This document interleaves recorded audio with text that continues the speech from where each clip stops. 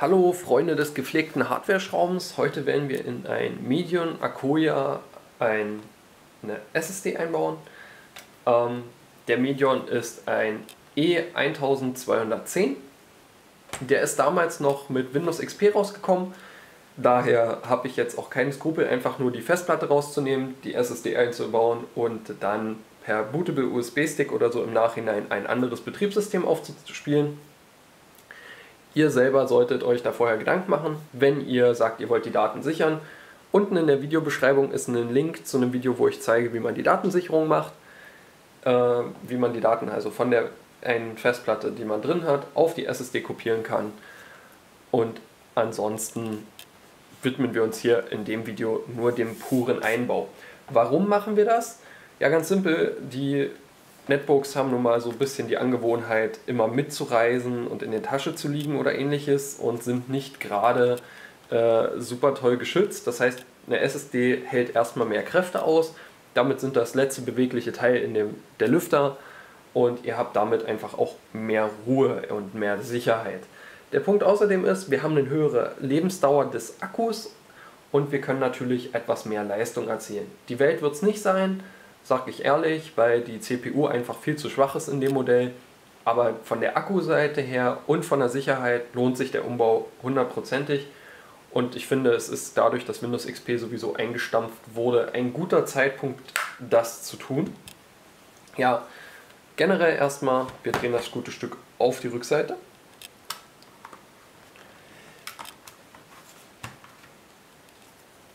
Entfernen den Akku erden uns selbst. Und jetzt geht der Spaß auch schon los. Wir lösen erstmal alle Schrauben.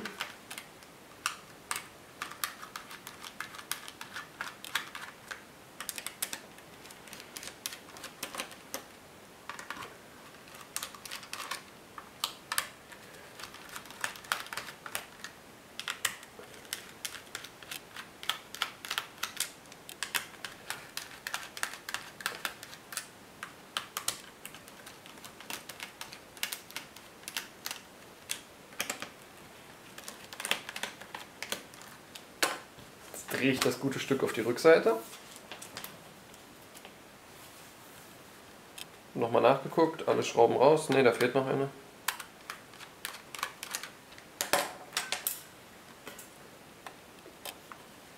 Die letzte bleibt wie immer drin. Ich weiß nicht warum. Das macht das irgendwie gerne. Das ist schon immer so gewesen bei dem Modell. So, jetzt gehen wir auf die Seite, wo der Lüfter ist und beginnen das Ganze abzuheben. In Richtung der Anschlüsse. Dann können wir es nämlich so von den Anschlüssen runterschieben. Da ist das gute Stück uns schon entgegengefallen.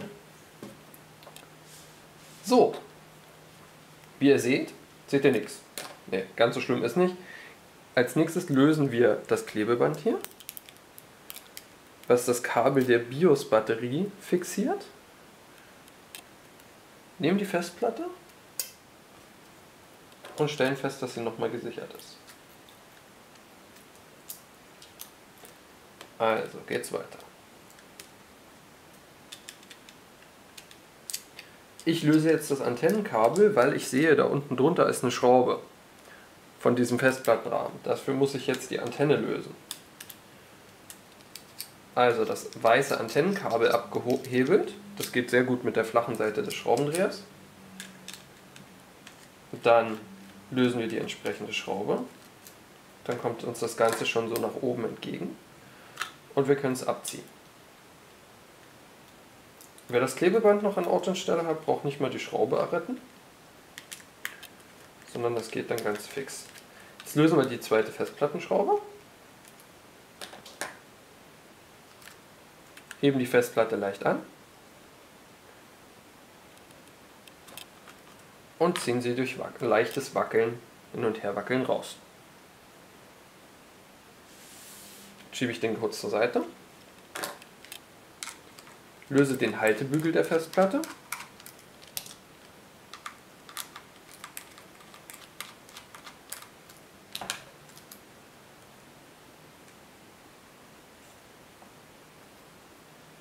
So, da haben wir die Festplatte schon weg.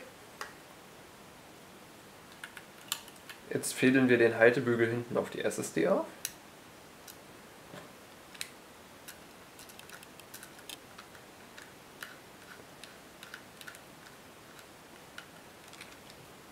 Schrauben den wieder fest.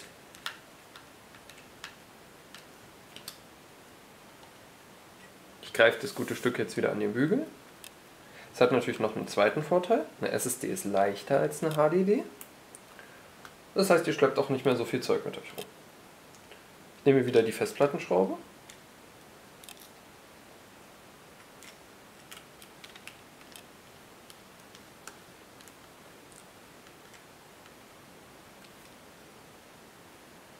Nehme wieder das Antennenmodul müsste das WLAN-Modul sein, um genau zu sein. Schraube das auch wieder fest.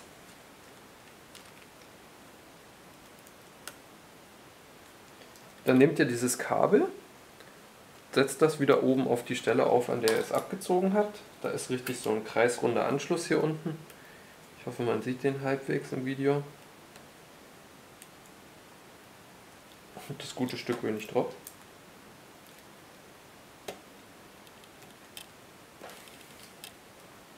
Na komm. Ich fädel das Kabel jetzt einfach dann neu. So. Gesagt, getan, das hat schon den benötigten Effekt gebracht. Einfach hochgefädelt von der anderen Seite drauf geschoben und dann wieder eingedreht. Dann macht ihr das Klebeband zurück an die Stelle, wo es war. Natürlich das hier vorne auch, könnt ihr auch wieder festkleben, damit es nicht hin und her wackelt.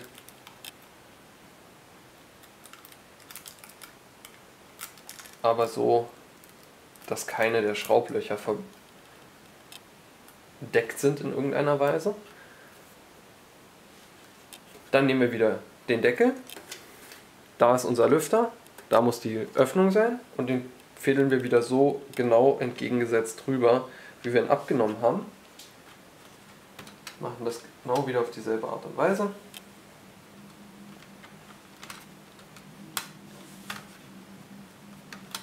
Nochmal kontrollieren, da haut irgendwo was nicht hin, glaube ich. Es fühlt sich zumindest komisch an.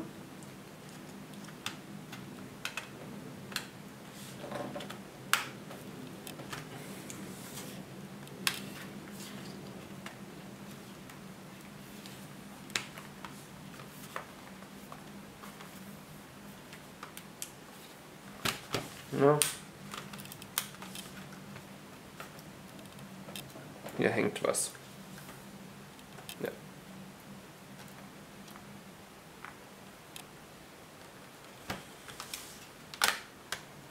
Also einfach mit noch ein bisschen Kraft. Der hat gehangen an den USB-Anschlüssen und müsst dann einfach ein bisschen das noch ziehen, dass der auch wirklich in die richtige Position springt. Ihr habt es gerade gehört. Jetzt sind wir hier richtig drin in der Kante und jetzt ist das Einfädeln hier drüben auch kein Problem mehr. Jetzt verteilen wir wieder unsere Schrauben.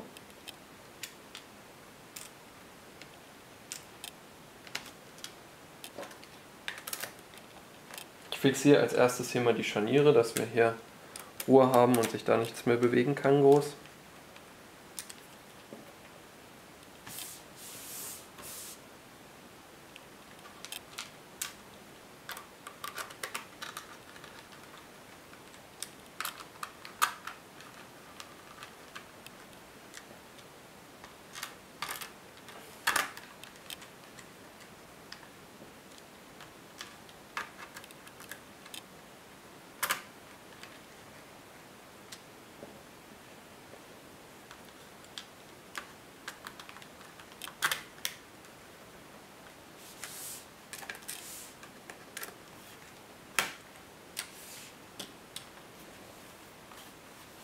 So.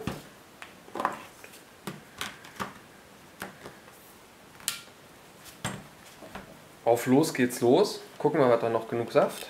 Ne, hat er nicht. Also ich hole euch gleich wieder dazu, sobald ich das Ladekabel hier habe. Willkommen zurück, Leute. Was ist passiert? Ich habe das Netzteil geholt, habe es angeschlossen. Ihr seht, mittlerweile ist der Akku auch geladen. habe mir einfach mal einen bootable USB-Stick erstellt, eine Linux-Installation draufgezogen und jetzt werden wir einfach mal die Installation so weit durchspielen, bis wir an dem Punkt sind, wo er die Festplatte checkt und wenn wir da angekommen sind, dann ist eigentlich schon alles bewiesen. Es geht hier nämlich nur noch darum, ob der SATA-Controller mit der SSD zusammenarbeitet.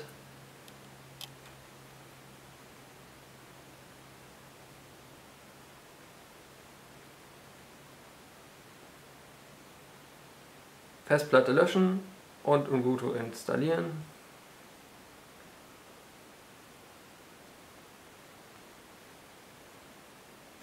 Und da ist sie schon. Also, ihr seht, der SATA-Controller erkennt auch in dem, in dem älteren Medion Akoya und damit vermutlich auch im MSI Wind, weil es baugleich ist.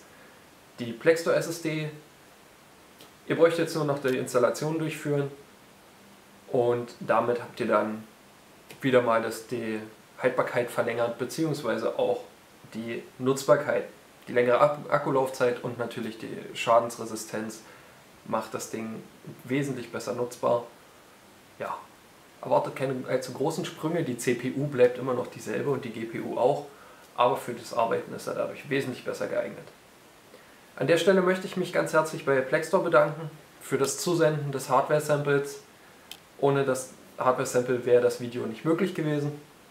Wie gesagt, herzlichen Dank dafür. Und ja, wenn ihr Fragen zu dem Video habt, schreibt sie unten in die Kommentare. Wenn ihr Anregungen habt, auch damit ab in die Kommentare.